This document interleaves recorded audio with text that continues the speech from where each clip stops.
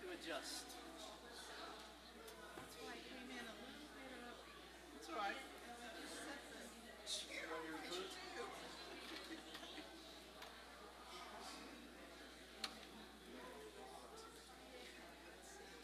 I can get by that. Yeah, just watch your step.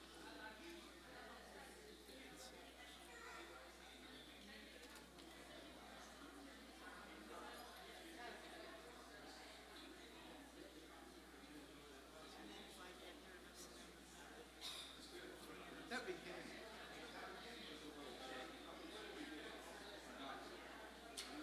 Where do you start out?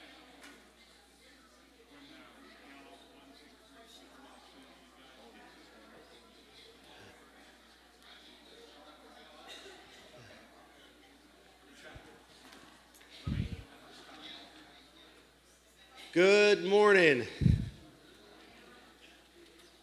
It is uh, wonderful to see you all here. Welcome to uh, Emmanuel Baptist uh, Church. Uh, this is the day the Lord has made.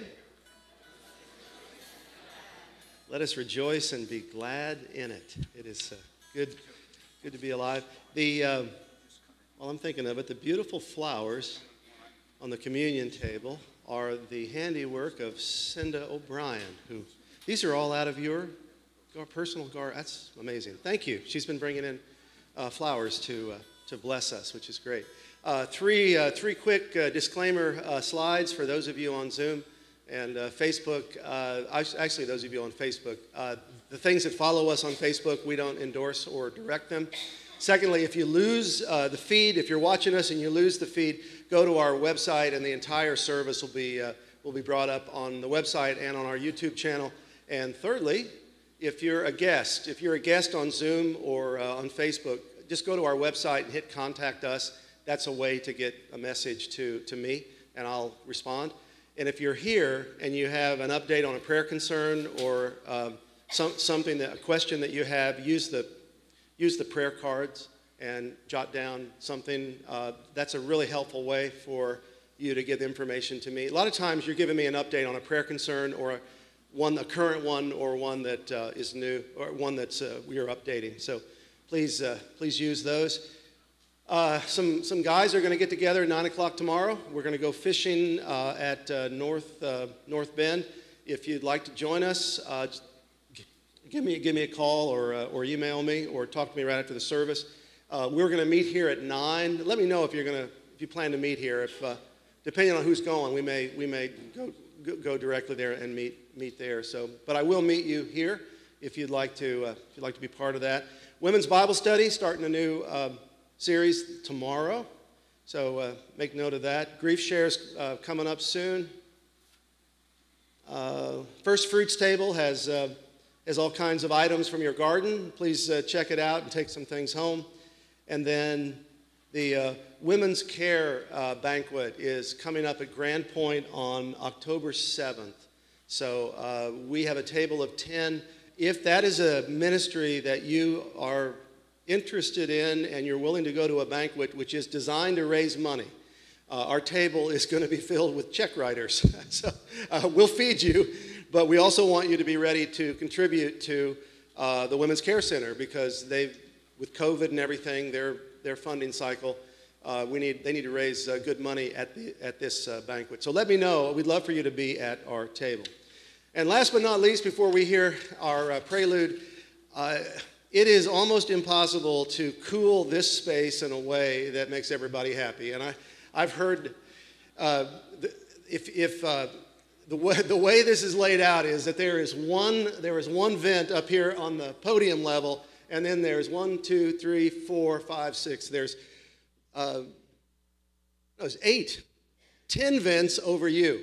And the thermostats are on this wall. So the, the, this warm area up here is driving all of the vents in the cold area out there. The good news is, is, is if you all approve the capital renovation, we will fix this. Um, so if you're, if you're really tired of being cold, I want you to get your money out when we, because we have a plan. Uh, in the meantime, uh, we're we're, we're going to do the best we can. If you're absolutely uh, freezing, we're going to bring some parkas and have them available in the back for you. So, God is good. I hope you feel the warmth of His Spirit today as we worship together.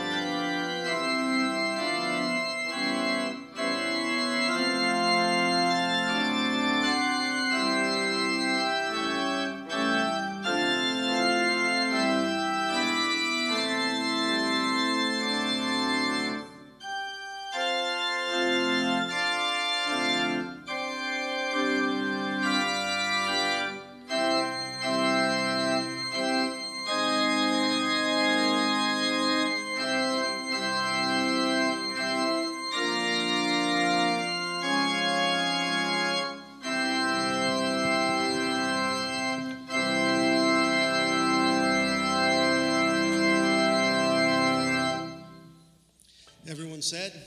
Amen. Our song uh, today is, a, I think, a familiar uh, praise song, You Are My King. Uh, it's kind of a prayer to the Lord. Um, sing it to the Lord as we sing together.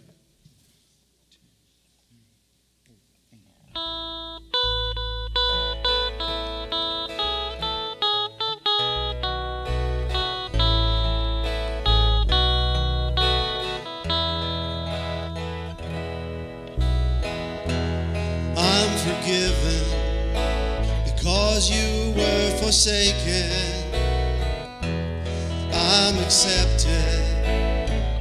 You were condemned. I'm alive and well. Your spirit is within me because you died and rose again. I'm forgiven because you were forsaken.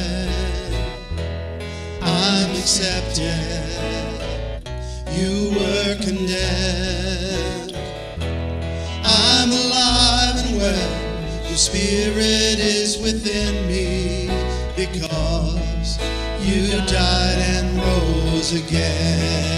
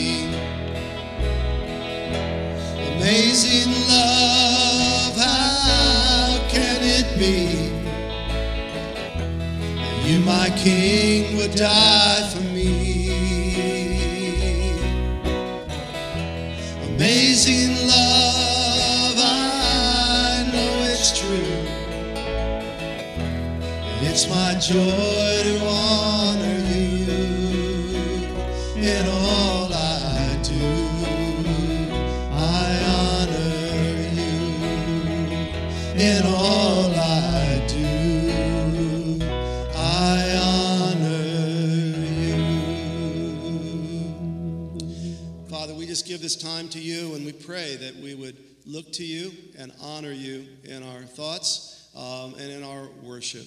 Uh, speak to us today, Father. We come from many different places. Uh, we may be struggling or hurting uh, or celebrating, but wherever we are, uh, by your Spirit, speak to us. We pray it in Jesus' name. Amen.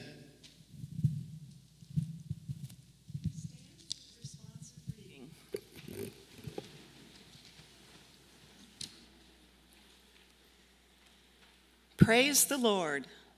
Praise the Lord, you his servants. Praise the name of the Lord.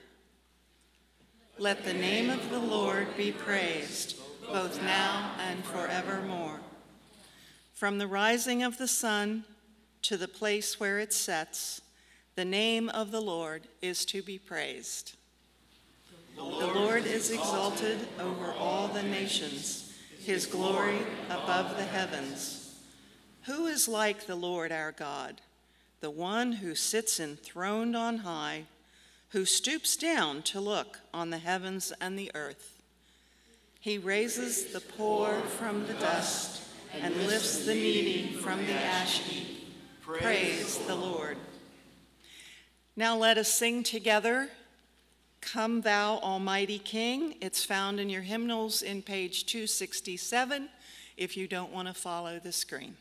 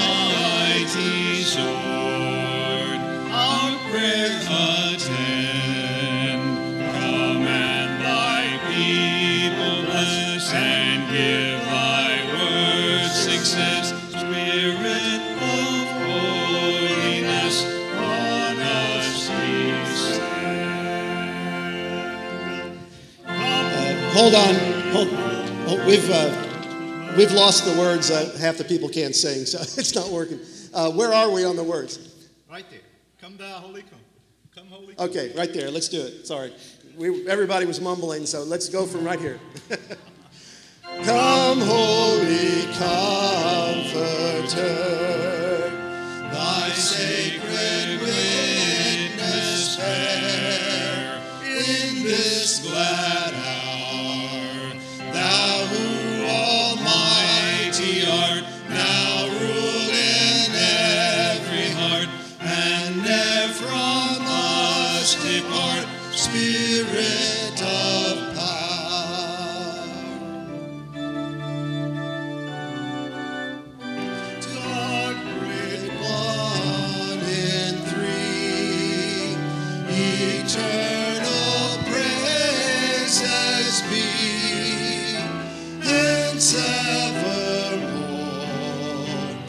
His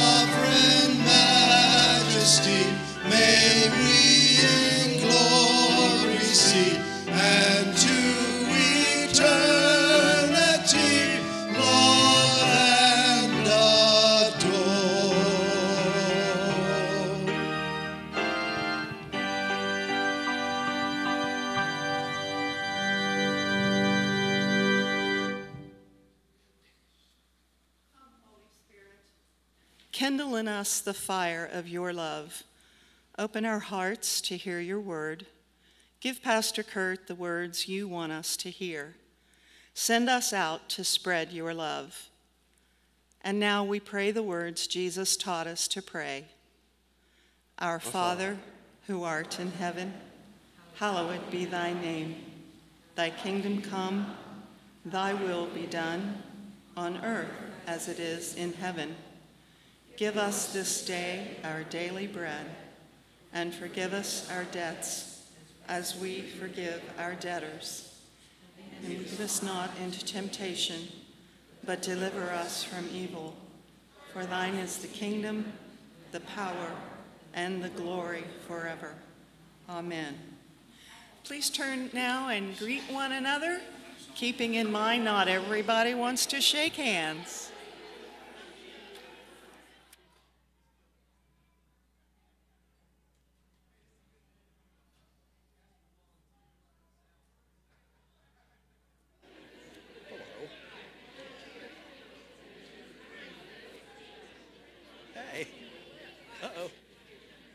Maybe they blew out. Oh. It's a problem with not having acolytes. Pastor Kurt, um, next time when you sing, could you be a little bit slower? next time when you sing.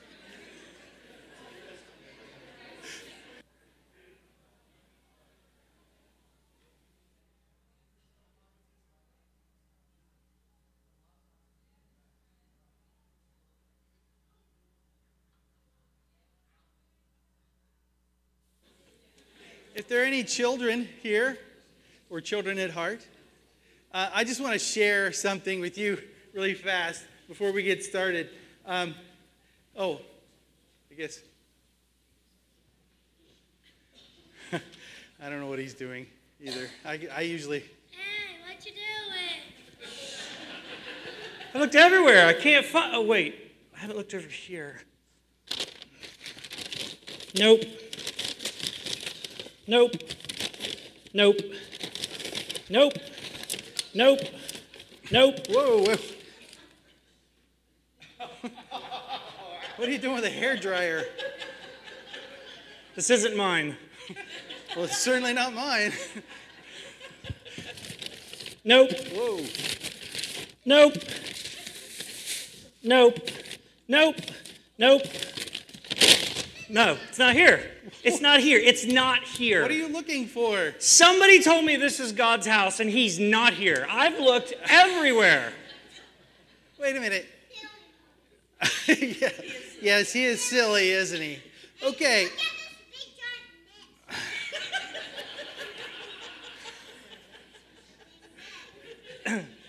Can't argue with that. Thank you, folks. we'll be, I, I don't even know how to follow that. Okay. So, when you when you're looking for God, you, you, God's not somebody you can actually physically touch.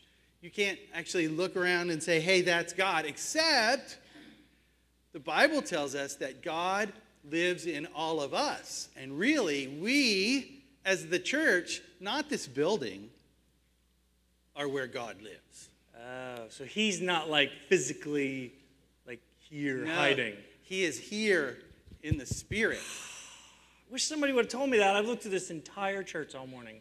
But I'm glad to know that now. That's good. Isn't it important that we remember that we're the house of God? This isn't this is a place where we, the house of God, the, the church, come and we worship together. This building is important, but it's not the church. We're the church, and you're the church. Let's pray. Thank you, God, that you have made your house in us, that we are, we are the church, that uh, everywhere that we go, we take the church with us. And it's not just here on Sunday morning that we're the church. We're the church everywhere that we go. We're the church at school, and we're the church at, at, at the grocery store, and we're the church at home. Help us to remember that all the time, that whenever people come and talk to us, they're, they are talking to someone who's, who's part of the church, your church. We pray in Jesus' name. Amen. Thanks, guys. Uh, speaking, speaking of the church, we have um, Deb. This might be a time. They're going to go that way. Deb Bunch is here, and I wanted her to just uh, offer a, uh, a greeting because uh, she's, she's in from Huntington, and a lot of you know a lot of you know her from uh, years past. So I just wanted to say hi. Hello, everyone. Um, really grateful to be here this morning. Um, it just feels good to be here in this church. Uh, so grateful for all of you who, all your prayers and all your help and everything. I live in Huntington, West Virginia now, and um, I finished LPN school, and uh, I'm an LPN at St. Mary's Medical Center. And then in two weeks, I start St. Mary's RN program. So I'm doing well. The kids are doing well. They're growing. And uh, thank you all. Thank you.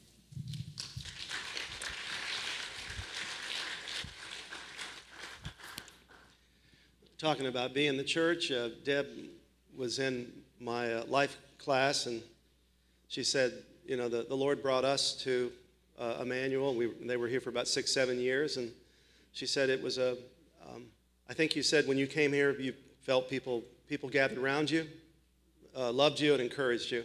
And she said that was such an important thing for me at that time in my life. So, anyway, that's uh, the Lord is here, and He lives in us, and our in the Spirit that that flows through us, hopefully, to others.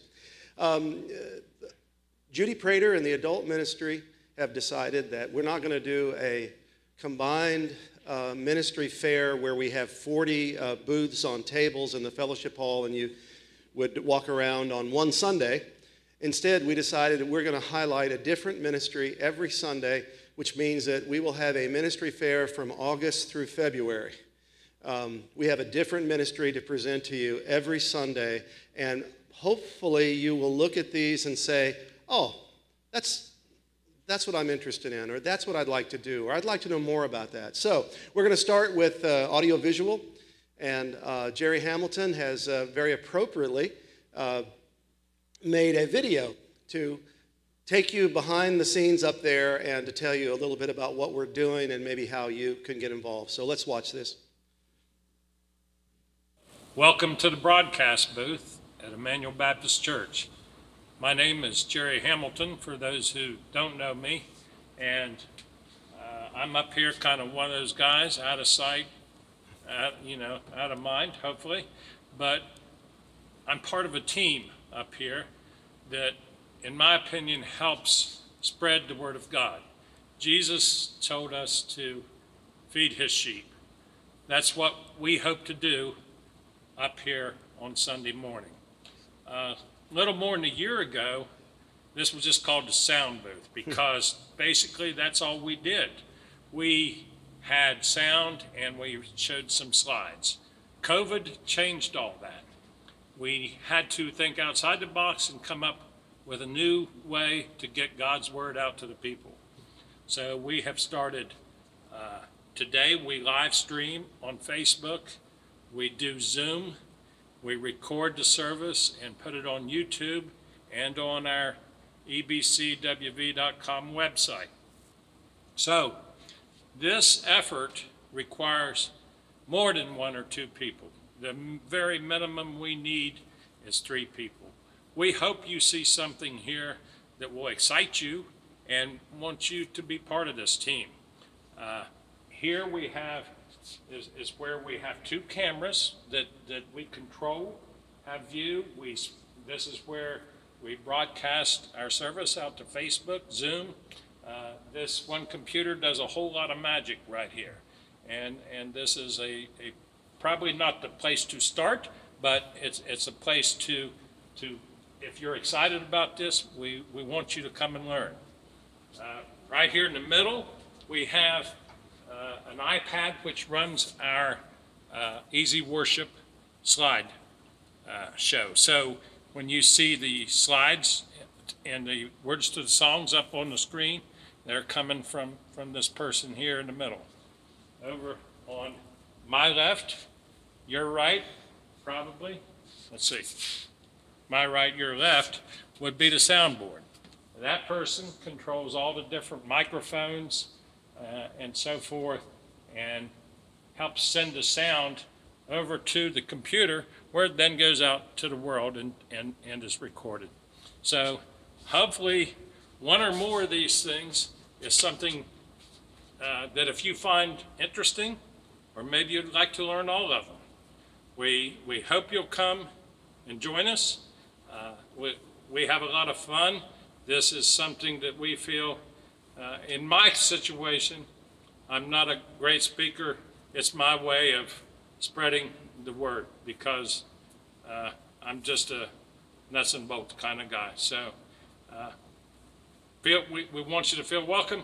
Come and join us if you see something that here that you think is good.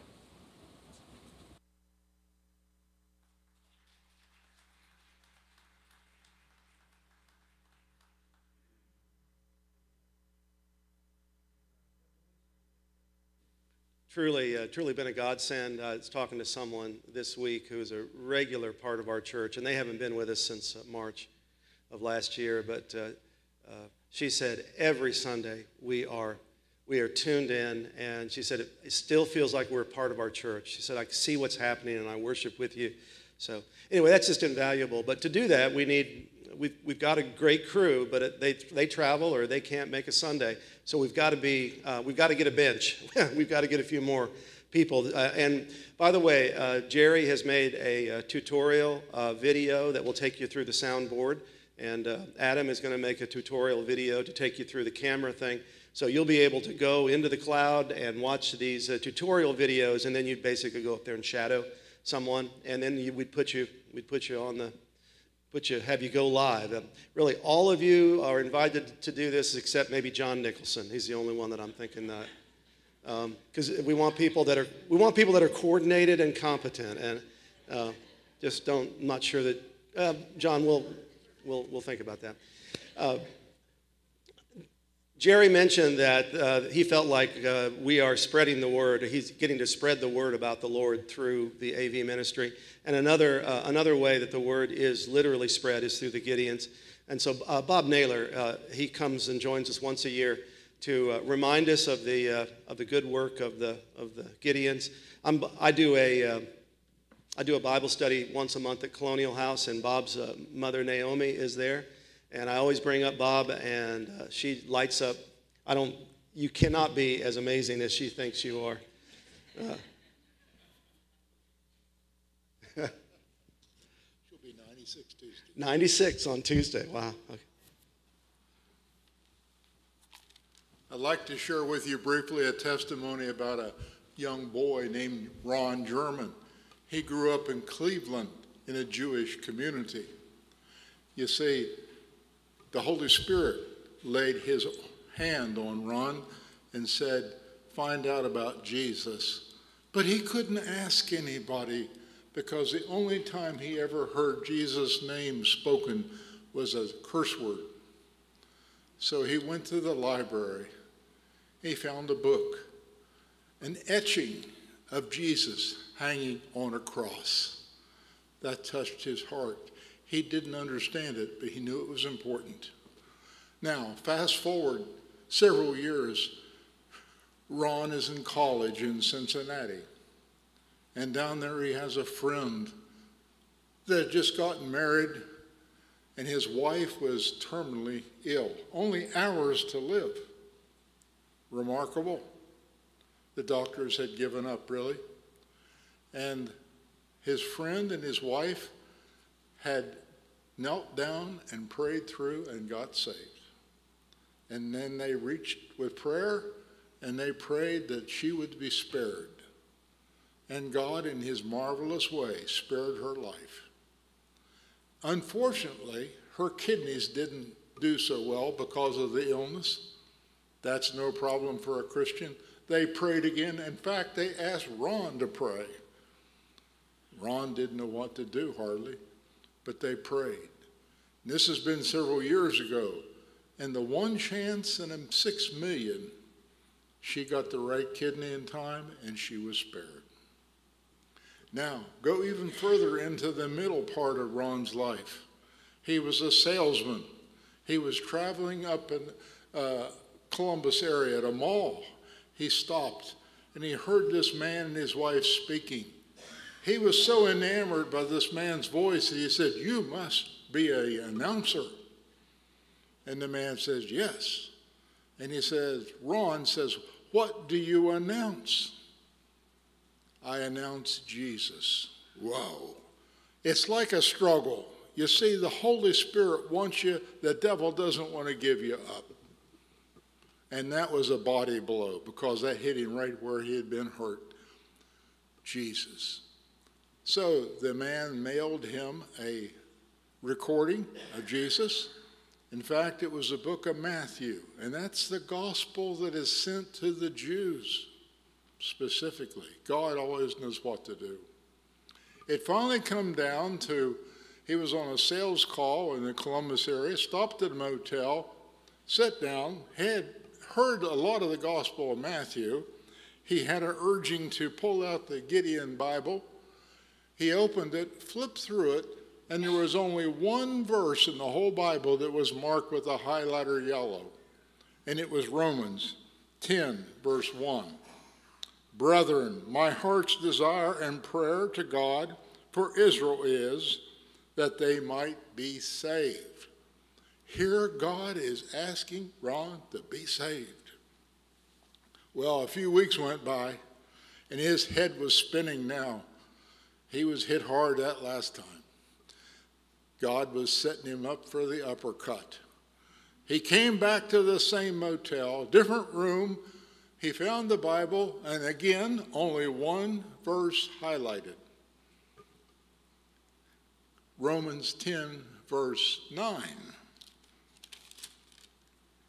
And that if thou shalt confess with thy mouth the Lord Jesus, and shalt believe in thine heart that God hath raised him from the dead, thou shalt be saved. That dropped him to his knees. There by his bed, he prayed through. He said, God, I believe, I believe, I believe. He had fought this since a young boy.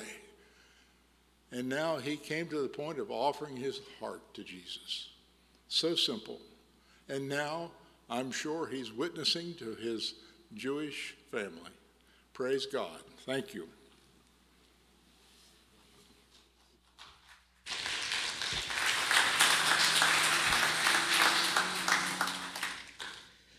We uh, have an opportunity today to support the Gideons. Um, we're not going to pass the plate, but if you uh, if you would like to contribute, you can give it to me, or uh, we'll have a uh, someone someone will be in the uh, in the narthex there. And if you have some cash or would like to write a check, it'll all go to distributing Bibles in uh, in our in our area.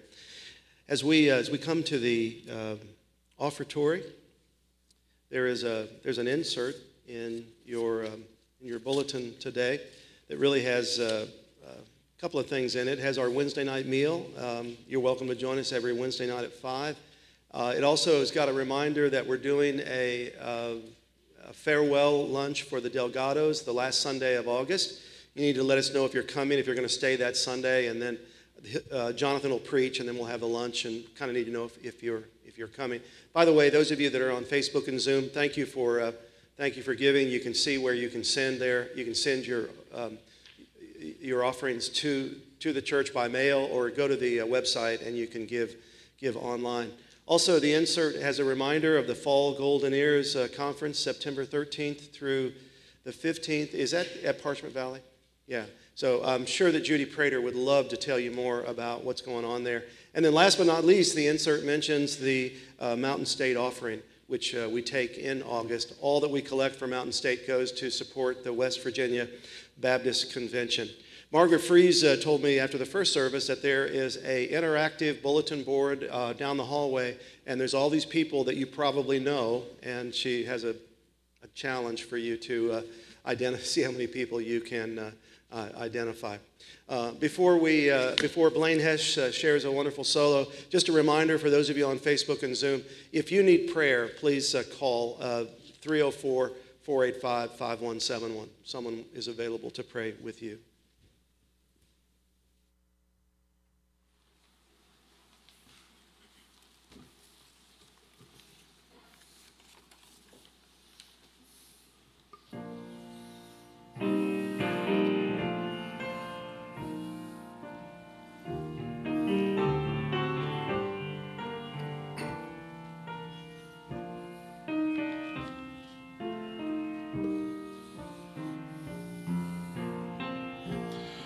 Take the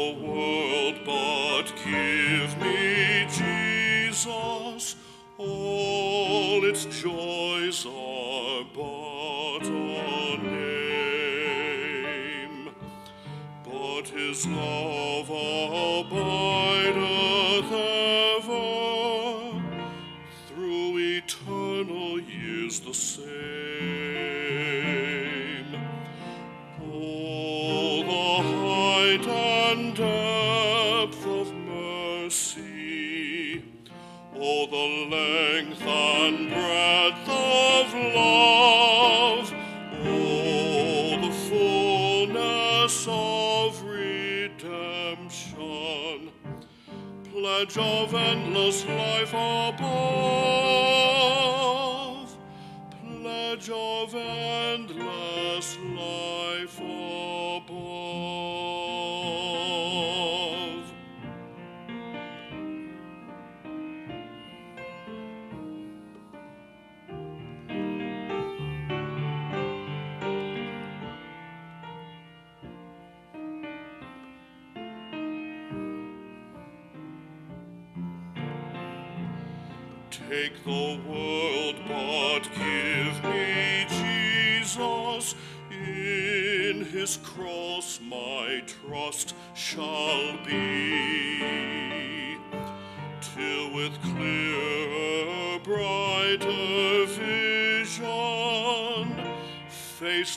face my Lord I see.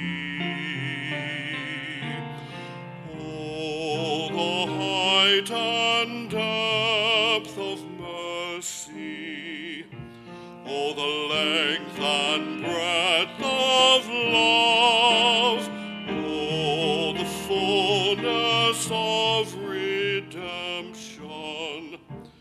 pledge of endless life above, endless life above.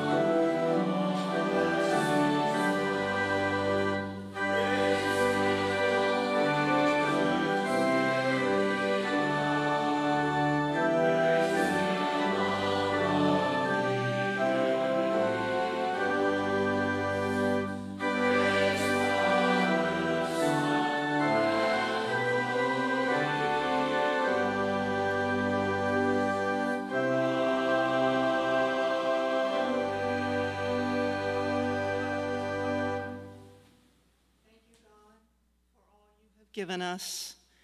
Thank you for the open hearts who have given of their time and treasures. Bless these gifts to your good service and keep our hearts open to the needs of others. In Jesus' holy name, amen.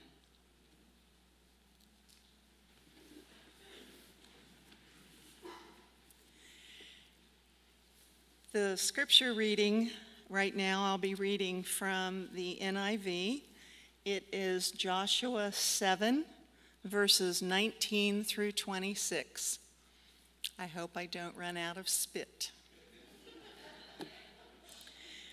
then Joshua said to Achan, My son, give glory to the Lord, the God of Israel, and honor him. Tell me what you have done. Do not hide it from me. Achan replied, It is true. I have sinned against the Lord, the God of Israel. This is what I have done. When I saw in the plunder a beautiful robe from Babylon, 200 shekels of silver, and a bar of gold weighing 50 shekels, I coveted them and took them. They are hidden in the ground inside my tent with the silver underneath. So Joshua sent messengers, and they ran to the tent, and there it was, hidden in his tent with the silver underneath. They took the things from the tent, brought them to Joshua and all the Israelites, and spread them out before the Lord. Then Joshua, together with all Israel, took Achan, son of Zerah, the silver, the robe, the gold bar, his sons and daughters, his cattle, donkeys, and sheep, his tent, and all that he had to the valley of Achor. Joshua said, Why have you brought this trouble on us? The Lord will bring trouble on you today. Then all Israel stoned him, and after they had stoned the rest, they burned them. Over Achan they heaped up a large pile of rocks, which remains to this day. Then the Lord turned from his fierce anger. Therefore, that place has been called the Valley of Achor ever since.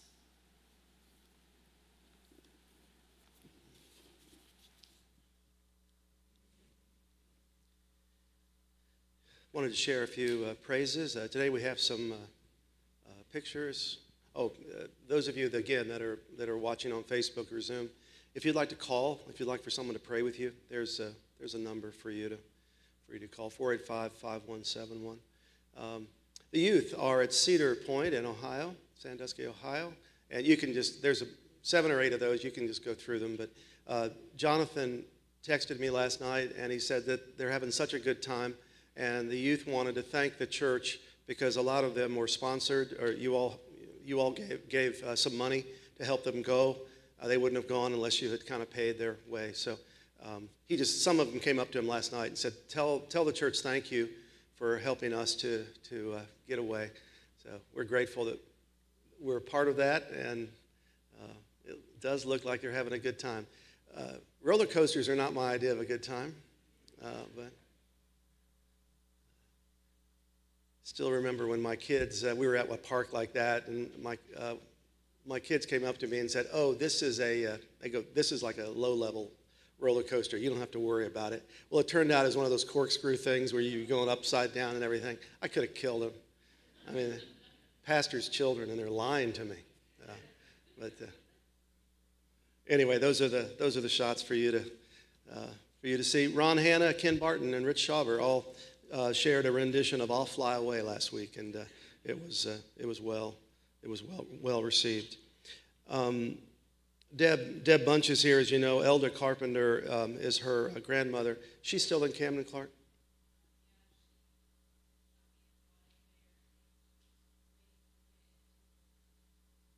Okay, waiting to get in a nursing home in Belpre. So she's there, kind of fighting an infection. Carolyn Duncan, her uh, knee surgery has been rescheduled for August 23rd. Just been through a tough time, so her address is listed for you. Encourage you to send her a card. Uh, Fred and Deb Fenton are in Kenya. Uh, Kim Jackson's probably coming home. Uh, when they get back, I'll, I'll show you the picture. Apparently, Deb sold Fred to an African tribe. Um, and uh, apparently, uh, she gave them a cow for them to take Fred. It's a long story, but I actually have the pictures to show you when they get here. Um, Jason, uh, Jason George, uh, Jennifer Beaver's brother. It's a good time to pray for him. Um, still, still recovering, but um, still has uh, still has a ways still has a ways to go. Steve Matheny is going to have a PET scan following his infusions uh, this Tuesday. Uh, think of him. Cinda O'Brien have knee surgery on August 17th. Um, Andrea Stanley, a newborn as of August 2nd uh, born with uh, some seizures and, a, and, possible brain bleed. So that's uh, Maria Keene's great granddaughter. They're asking for prayer.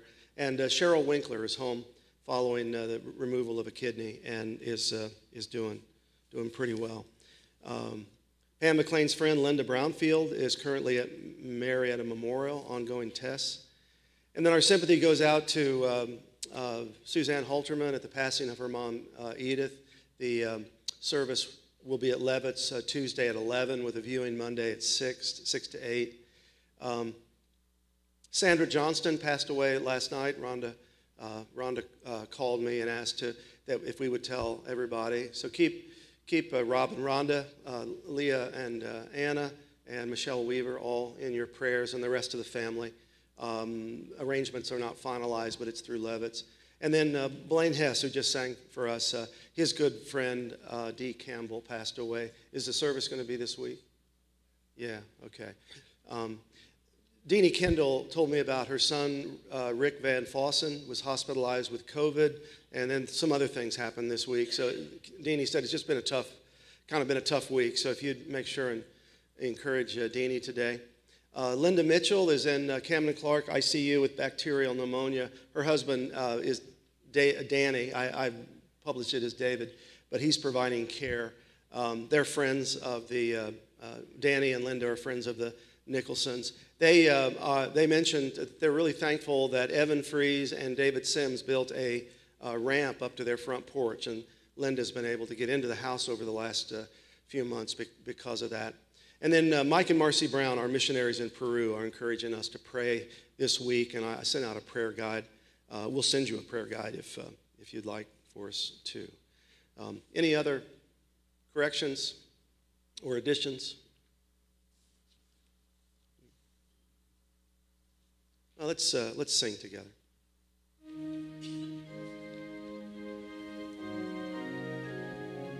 Since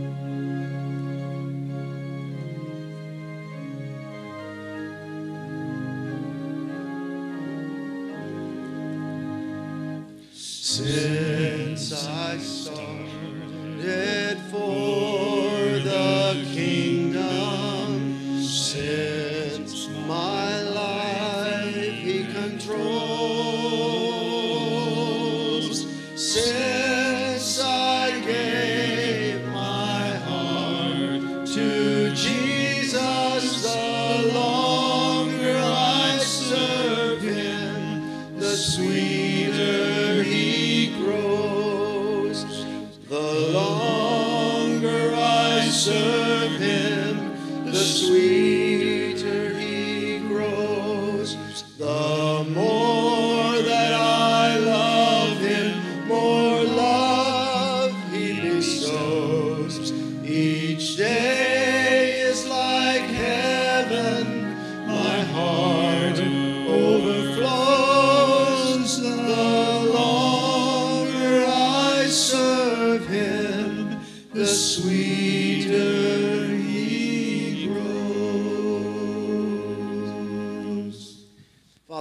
thankful for the privilege of being able to be part of, of your people, to be part of um, the Emmanuel uh, Baptist Church. Father, many of us are part of other churches uh, as well. I'm just thankful for the witness that is here in the Mid Ohio Valley of people who gather to worship you, who pool their resources and their talents, and uh, we are making a difference in our own small way.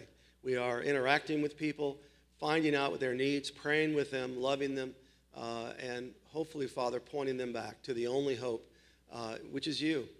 Father, uh, we, we struggle sometimes to know uh, what our purpose is and whether or not there's a plan, uh, but you have, um, uh, you have shown us that there is a purpose and there is a plan, and that plan is found through your Son. Um, help us, Father, to realize that your Spirit is drawing us to you.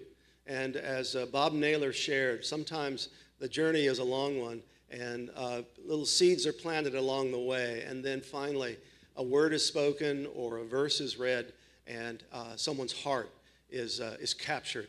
So may we be part of that process. We know that some, some plant the seed, some water, water, but you're the one who gives the growth, and you're the one who brings salvation. So help us, Father, as a church to continue to serve and love and care for one another.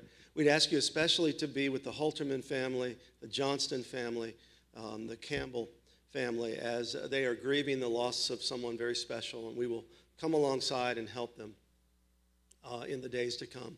Be with those in the hospitals, those in the care facilities, those who are home and not able to get out, those on Facebook and Zoom that uh, feel a part of us uh, and are not, for different reasons, able to be with us in person. We just ask that you'll continue to help us to keep our focus, that we would be open to ways that you want to fill us, and then to keep our minds and our hands open that we can give out. So continue to guide us in this service, and we, uh, we praise you through Jesus Christ our Lord. Amen.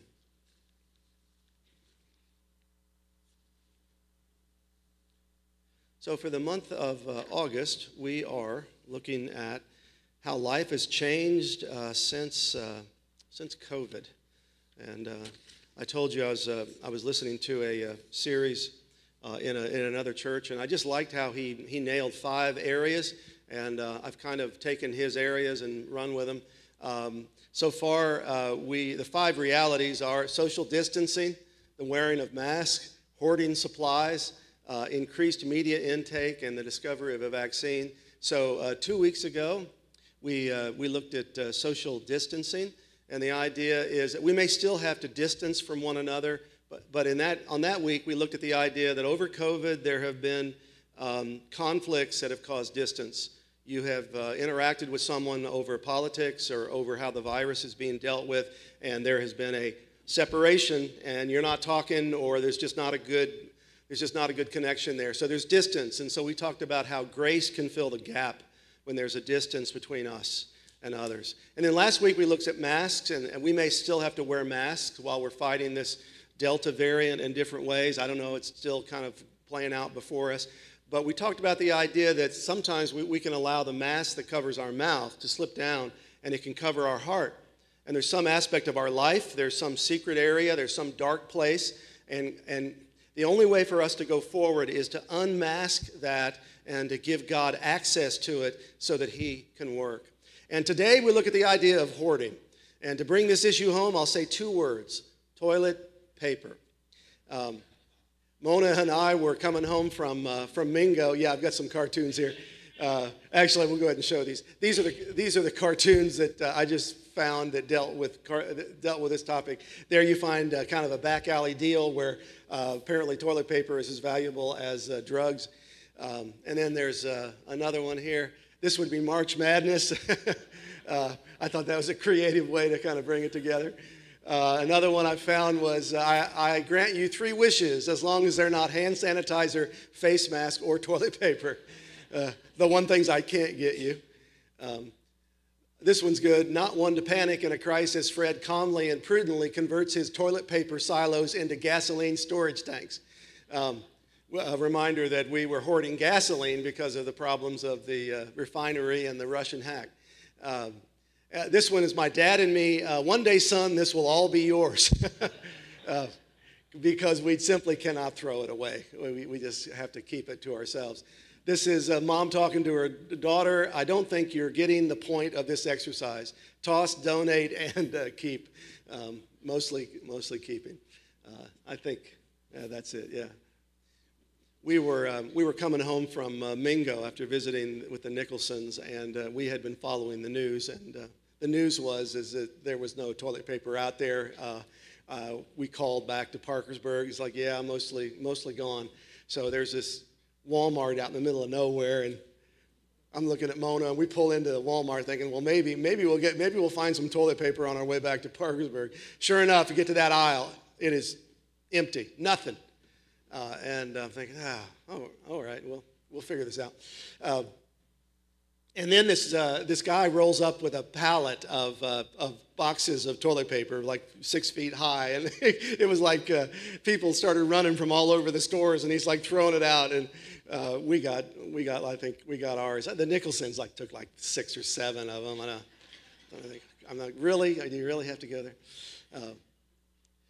James White says, over the last 15 months, some people have turned inward, become selfish and self absorbed uh, they've adopted a me first uh, mentality. Some have given into a look out for number one mentality. They've started hoarding uh, toilet paper. What started with hoarding toilet paper became a full blown, self serving, me against the world mindset. We've stopped caring about other people and started caring about ourselves. We will defeat this virus, but can we defeat the selfish spirit that puts our needs above others and encourages us to get and hold on to what we need? There's no question that we live sometimes in a very selfish, materialistic world where our worth is determined by our income and the stuff that we have. But we need to remember the words of Jesus who said, What does it profit a person if he gain the world but lose his soul? And so it's easy for us to focus on the temporary and, and lose track of those things that are, that are eternal. So, two images uh, that I, um, by the way, you all get. Uh, there's a visual image in this sermon, which uh, there will be a uh, $2 surcharge for the, uh, for the visual image. You don't, you don't get it for free, you can just kind of send it in. Um, two, uh, two images uh, clenched fist and open hand. Uh, the clenched fist, as I thought about the clenched fist, it, there's kind of a different, different ways to think of the clenched fist. One is just simply being closed. I'm kind of I'm closed to anything you might want to tell me. There's also a sense in which the clenched fist is holding on to something tightly. I've got it and I'm going to keep it. Uh, and then the third idea of clenched fist, uh, which I've had people literally uh, have clenched fist in my face because they're ready to hit me. Uh, there's a, the anger of the clenched fist that's going to take someone out. You can, you can go through life kind of with your, your fist clenched, either uh, closed off, holding on, and angry, or you can open up your hand and receive fully what God wants to give you, and not just receive it, but, uh, but share it. And then there, uh, the image that kind of goes along with that are uh, baskets and barns. And this comes out of the story of the rich fool. We can uh, go through life as though we have a basket, like the disciples who were handing out bread, and it was in the basket, and then they just held it out, and as they gave it out, more was there. Or we can be like the rich fool who took all that he had and he stored it in a silo or a barn like that and made sure that it was uh, secure. One's closed and one, uh, one is open. So I want to read to you now uh, from Luke 12, uh, 13 to 21, the, the story of the, of the rich fool. It says there, Someone in the crowd said to him, Teacher, tell my brother to divide the inheritance with me. Jesus replied, Man, who appointed me a judge or arbiter between you? Then he said to them, Watch out. Be on your guard against all kinds of greed, because life does not consist in an abundance of possessions. Then he told them this parable The ground of a certain rich man yielded an abundant harvest. He thought to himself, What shall I do? I have no place to store my crops. Then he said, This is what I will do. I will tear down my barns and build bigger ones, and there I will store my surplus grain. And I will say to myself, you have plenty of grain laid up for many years. Take life easy, eat, drink, and be merry. But God said to him, You fool, this very night your life will be demanded from you. Then who will get what you have prepared for yourself? This is how it will be with everyone who stores up things for themselves, but is not rich toward God. So, uh, in this story, there is someone, there's a man who cries out with a question in a crowd, calls out to Jesus and says, Jesus, I need you to help me uh, and probably wanted Jesus to rule, uh, kind of help me in this inheritance dispute that I have with my brother. I need to get what's coming to me. Jesus saw his heart and said, Watch out for greed. Watch out for a greedy spirit because your life is not determined by what you own, but by who you are connected to. Money is like a boa constrictor that you're sleeping with.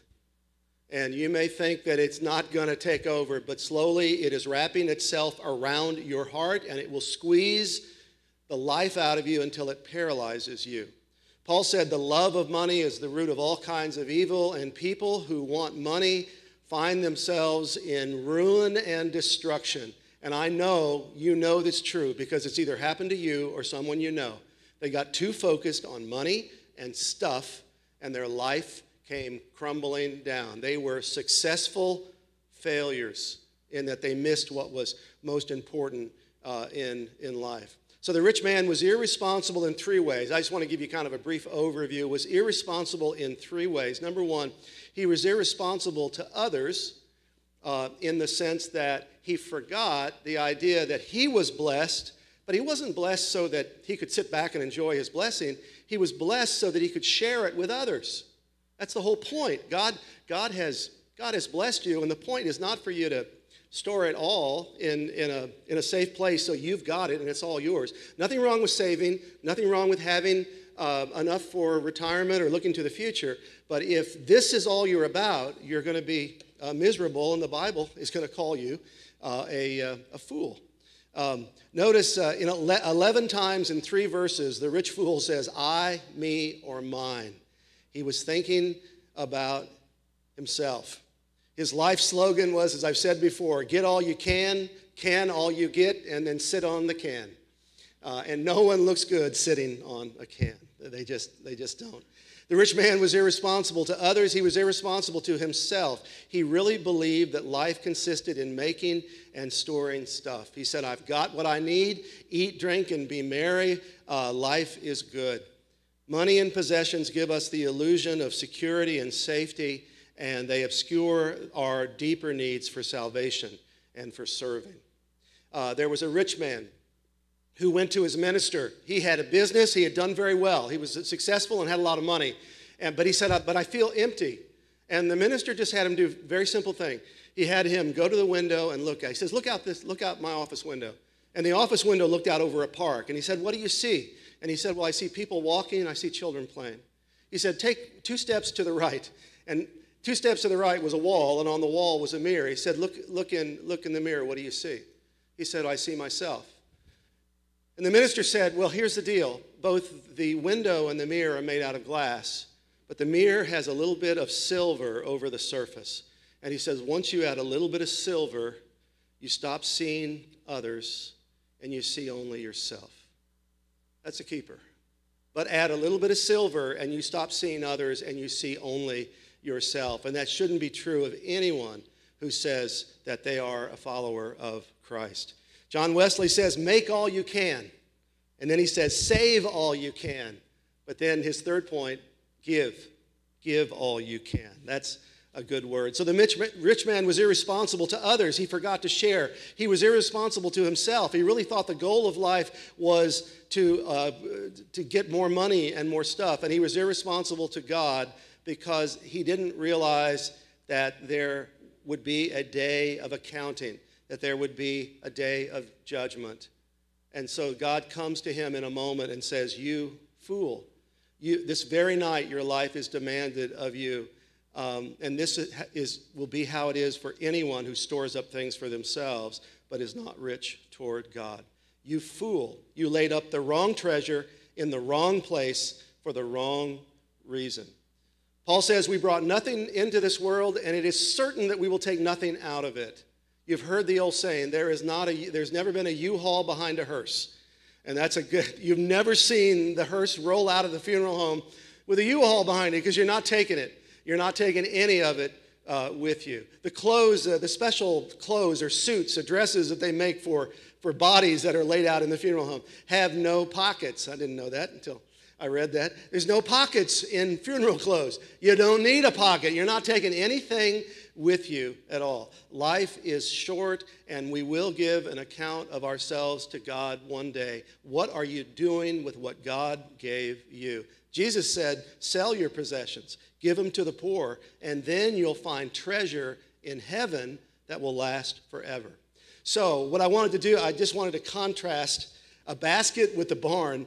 The basket would be the, um, the disciples who were going out uh, as Jesus was feeding the 5,000, and Jesus put the fish and the loaves in the basket, and they just sort of waded out into the crowd. And as they held their open basket open, there was fish and bread, and people took it out. And as they took things out, apparently the miracle was it just automatically replenished. And as they gave, as they as they gave out, God gave in. Isn't that a neat way to live? You, are open. You're, you're saying, God, I'm going forth in faith. I'm giving out as you give in, and it's a um, it's a mystery, but a miracle. Some of us live like this I'm going to store it away, I'm going to keep it, and I'm going to say to myself, eat, drink, and be merry because you're set. Which, by the way, I pulled this out of the attic, and uh, I don't know why this is in here, but this is Cookie Monster. uh, Cookie Monster was the last, the last kid who played with our silo, which, by the way, is a pretty good image because I don't remember the Cookie Monster sharing with anybody. You know, he's just kind of eating it. It's, it's his cookie, and he's, he's good. But is this you? Is this you? Have you stored it away? You're set, you're good, it's closed off? Is there any, is there any joy in that? Um, well, I, I pray, I pray that I would be like more like the basket, less like the barn. If we are followers of Jesus, we are not into hoarding. We're into heaven and helping people to get there. Remember what Jesus said For the Son of Man came not to be served, but to serve and to give his life as a ransom for many. If, if, you're, if you're about Jesus, you're not about the clenched fist holding on. You're about the open hand that is, that is open to receive and open to give. That is where, that's where the adventure is. You guys know people that are closed off, and they're closed off in every sense, and they don't have life.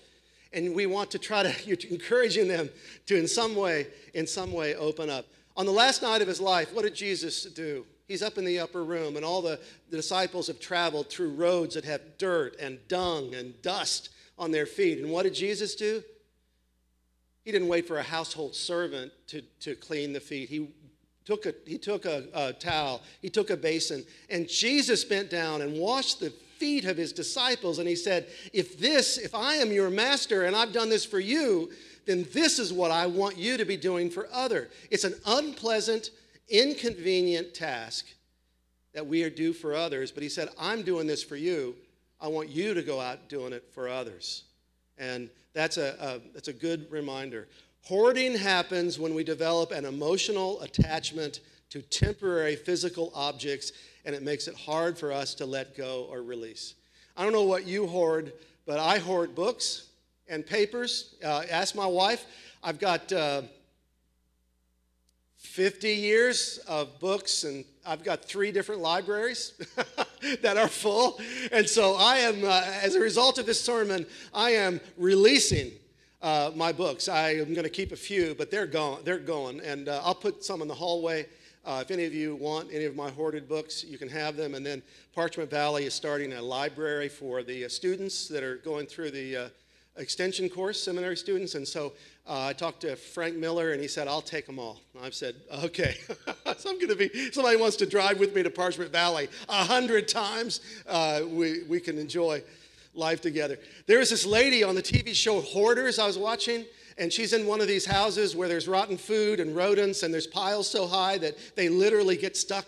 I mean, these, these houses are like dangerous because the piles fall on them and they can't get out. She was in one of those. It was condemned, and they are literally pulling her out from a pile from one of these hoarding houses, and she, she expresses her, her thought she expressed to the camera was, but she, she looked back into this mess and she says, But that's my life. She said, I can't leave. She said, Dad, this is my life. Her life is all of the stuff and the debris that she's just uh, loaded up around her. And some of us, I mean, I can relate. My basement, my garage. I mean, I just, I uh, take after my dad in, uh, in kind of a sense that I keep a lot of things. But how do you, how do you break the spirit of hoarding? We need to be servants. Uh, and uh, let me give you a few little points around serving. Um, we need to be servants. Number one, um, serving is how we grow. Uh, uh, serving helps us simply grow in the faith. If you want to grow up in your faith, you got to find some place where you're serving. You have to find some place where you're serving someone because as you serve, God begins to do a work in your life. That's why when the youth are out, the youth were out uh, two weeks ago just serving our members. And John said all of them came back and they're talking about what they learned by pulling weeds and helping uh, different members of our congregation. We grow up as we serve. Serving means we get into the game. You get off the bench and you get in the game and you begin to experience uh, what it means for God to, to use you. When our uh, finance team is closing, uh, Bill Gaynor always tells a story right at the close. Uh, and I wrote this one down. This was the last one he told. It, it was a uh, an older couple who was going to a, a, marriage counselor, and they were having some marriage problems, obviously. And the uh, woman was sharing a lot of different things that bothered her. And uh, the counselor listened and listened and listened. And finally, he stood up in the middle as she's going through the list of things that bothered her about her husband. He pulls the woman up and he kisses her, long, passionate kiss. And the counselor turned around and looked at the, old, the older man and said, Now that's what she needs. Three times a week Monday, Wednesday, and Friday. And the man thought for a minute and he said, Well, he said, I can have her here on Monday and Wednesday, but I, but I golf on Friday.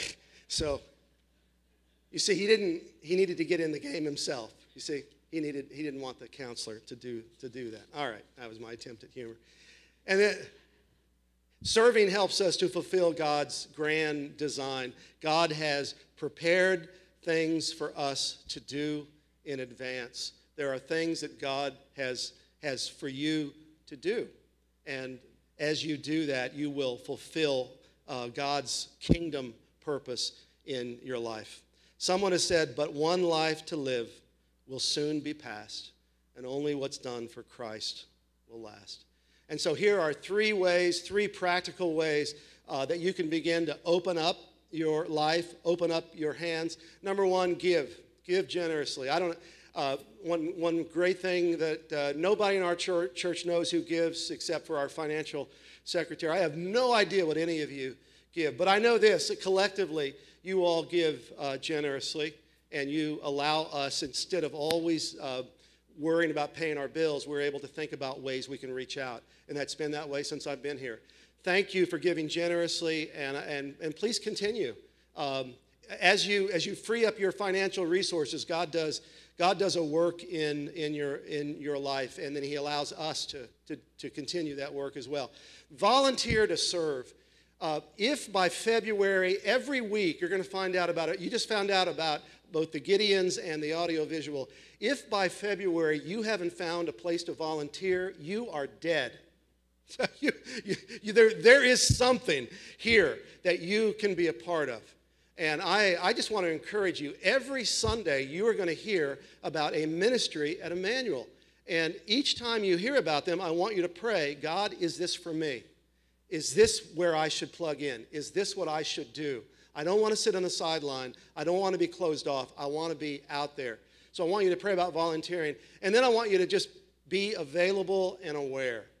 Um, I was leaving a store uh, recently, and uh, as I came out of the store, there was a lady uh, who had all of her worldly belongings on a cart. You know how they have a kind of a, a little dolly thing, and it was no, it was a shopping cart, and it was all piled over.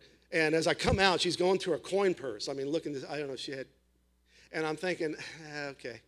Now, I, I, didn't, I didn't kick off this conversation in the best way. My first comment, I went across the street and I said, I don't know, this is crazy. I said, Do you know where you're going to sleep tonight? Uh, that's probably not the, I, I, I know what I meant. I know what I meant, but I mean, you know where?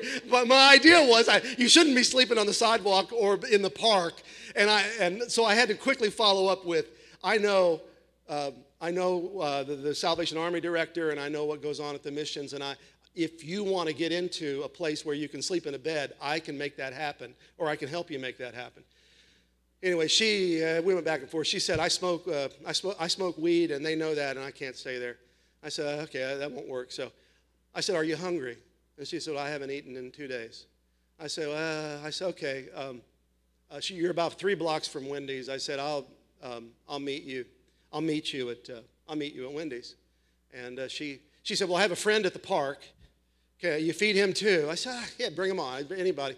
And so uh, about 15 minutes later, I, I, roll into Wendy's and, and she shows up and the guy, the guy kind of goes to the front of Wendy's and he has his head on the, he has his head on one of those uh, things, kind of head in his hands, like I don't know what's going on with him. But she came in and she ordered two, she ordered two value meals, and I was able to pay, pay, uh, pay for it and just say, you know, I, I do this because I'm part of a church and because I love the Lord, and uh, I, I pray that I pray this is a blessing to you. You just you keep you keep your eyes open. You're you're saying, God, where can you use me? Uh, that may not be the thing you should do, but I felt I can't, I couldn't just walk by her. Um, and so, how, how are you going to be used? I wanted to close with one final image, and I, because I was thinking about um, because I was thinking about clenched fist. I had this, you know, you have these random images from things in your life. And I shot back to preschool when I was in uh, Joyland Toyland back at the Grace United Methodist Church, had a preschool. Uh, and the teacher would occasionally lead us in um, finger painting. And I don't know why, it has to be maybe I'm German or something, but this the concept of putting large pieces of white paper out and then glooping this uh, uh, the, the, the colors onto, the, onto this paper and then you smearing it over with your hands. That was so disgusting to me as a preschooler that I remember sitting in my chair and I clenched both of my fists like this and I had them on my knees and I was sitting there like, I dare you. I dare you to move me out of this place. I am not gonna, uh, paint needs a paintbrush, not your hand. And I just, and the reason I know this is it was, on my report card. The teacher said, I think your son has some problems. we need, he might need, might need to be in counseling. But as soon as I got the fingerprinting thing out, I sat in my chair with my fist clenched. And I'll never, and one time they, they let me go. But one, one day, this, this wonderful, nice teacher stood me up and she made me stand up and come over to the table. And I still had my fist clenched like that. And finger by finger, she opened up my hand and she said, It's really, really not that bad. And she put my hand in there, and, and I began to see, well, maybe it wasn't bad as I, bad as I thought. Uh, I, I think there's going to be a lot of people who come to the end of their lives and they're going to have, like, I, like my preschool picture, their fists are clenched against others and against God, and they don't need anything, and I'm, I'm okay, and I've got what I've got. People, this is a picture of hell. By the way, if you want a picture of hell, hell is a bunch of people with clenched fists, keeping what they have and living in anger that they may lose it. And you know what? You know what people need? They need you and me, like that preschool teacher, finger by finger. we pry the hand open and we so that someone is able to open their hands up to God, receive what he wants to give them. This is the way to live with your arms open. And as I've said many times, how is Jesus in his final moment? How do you picture Jesus? His arms are wide, and I see his hands are open, asking all to come to him. Let's, let's pray. Father, if we're honest, we, we live a lot of our life with our hands closed we store up in barns and we think we're set. Help us, Father, to think in terms of baskets, open baskets that are held out and we, uh, they, they fill up. As we give, you fill back in. We can't outgive you, God. And Father, help us to see that we need to open up our hands to receive your love and your spirit. Um, today, Father, if there's someone listening who, who knows that they have been closed off to you in some way, maybe they need to maybe they need, need to call out to you. Maybe they will t- t- even tonight. Um, we just would ask father that this would be a church that is open and giving to the world. We thank you. We praise you in jesus name. Amen. I did put this uh, church here for a reason. I just remembered. Um, i pray that our church is not closed but open uh, to receive what God wants to give to us and then give out freely. Uh, if you today, as we close, if you need prayer, if you'd like to receive Christ or to join our church, you're welcome to come forward as we sing one verse of Freely, Freely.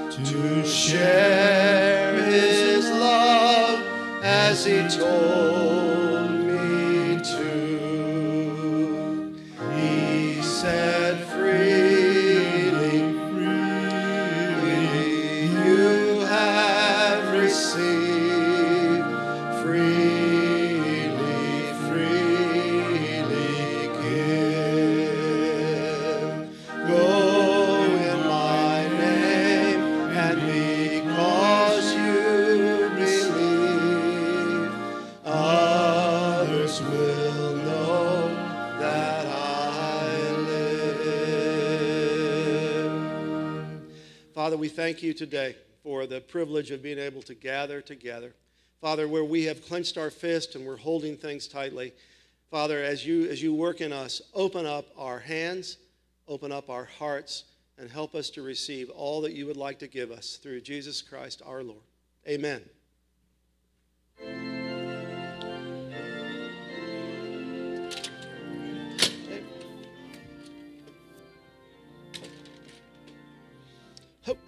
Oh, good. Good enough. Good job. I was, I,